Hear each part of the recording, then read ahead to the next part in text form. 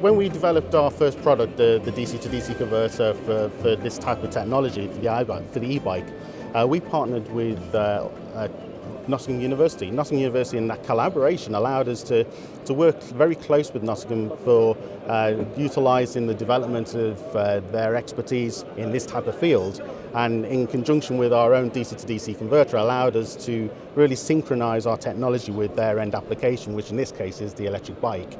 Um, so in terms of the, the actual product that we're using, um, the, the actual part is a, an MGJ6. It's a, it's a 6 watt DC to DC converter. Uh, it's been specifically designed uh, for driving IGBTs and MOSFETs. Uh, the MGJ DC DC converter is a high isolation device.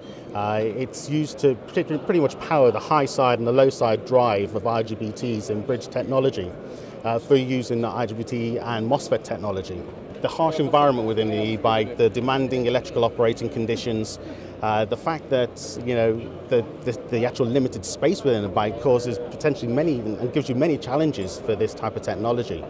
So the, the DC to DC converter has been designed to take into account these dynamic drive conditions.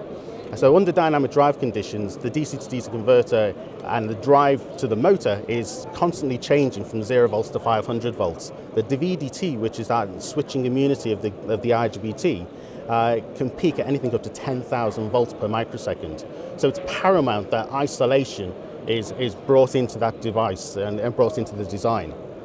The, there are many benefits of using this type of technology, uh, but the main three really uh, are the, the high isolation, uh, the fact that we uh, offer a, a, product that meets these demanding environments for this, so that low coupling capacitance is, is paramount. Uh, and lastly, uh, we opted for a different style of technique in terms of testing our product. Uh, we take into account a partial discharge rather than just high pot testing, which really allows us to predict the reliability of our product in these continuous high voltage demanding environments. It's a, it's a, it's a brand new technology for Murata. It's a technology that's been adopted into a, a into a, a, a superbike, uh, an e-superbike, which is uh, any kid's dream to be able to ride an electric bike at 300 kilometers an hour, which is phenomenal. So uh, we're very proud.